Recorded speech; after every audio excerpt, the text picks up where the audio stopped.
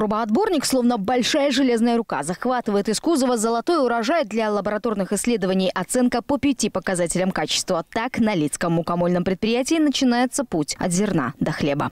В этом году зерно имеет высокую натуру.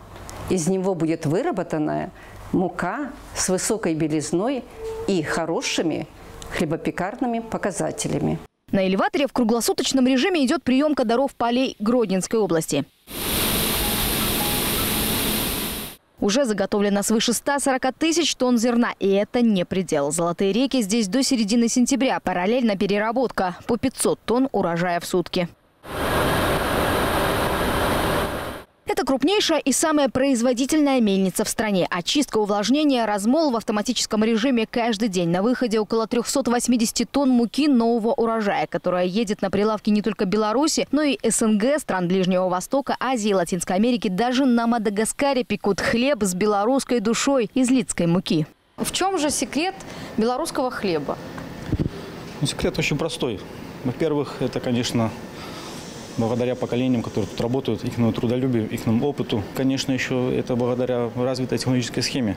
Заварной хлеб из муки нового урожая уже на полках магазинов от Беларуси вплоть до Ближнего Востока. Душистый, с румяной корочкой. Ежесуточно в этих печах Лицкого завода выпекают 20 тонн хлебобулочных изделий. Здесь сохранили традиционную многостадийную технологию производства на натуральных заквасках. Не каждый хлебокомбинат таким похвастается. Готовится по рецептам, которые идут с поколения в поколение. Готовится по рецепту от наших бабушек и дедушек. Готовятся пекари к участию в каравай-фесте «Батькова булка». Он расширяет формат и становится большим праздником хлеба. Марина Лукашевич уже вторую неделю трудится над 12-килограммовым караваем 80 мирных лет с прицелом на победное место в конкурсе.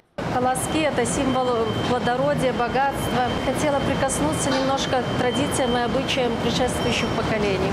Пекари намерены удивить гостей феста. В прошлые годы настоящий бум вызвали 100-килограммовый каравай, а еще гигантский Гродненский драмтеатр и Покровский собор из теста. На этом не остановятся. В этом году Гроднохлепром собирается побить рекорд – испечь батькову булку длиной 5 метров и угостить ею всех гостей праздника. Республиканский конкурс пекарей на Каравай-фесте устроят впервые. От хлебобулочных традиций до трендов 21 века ожидают под сотню участников со всей страны.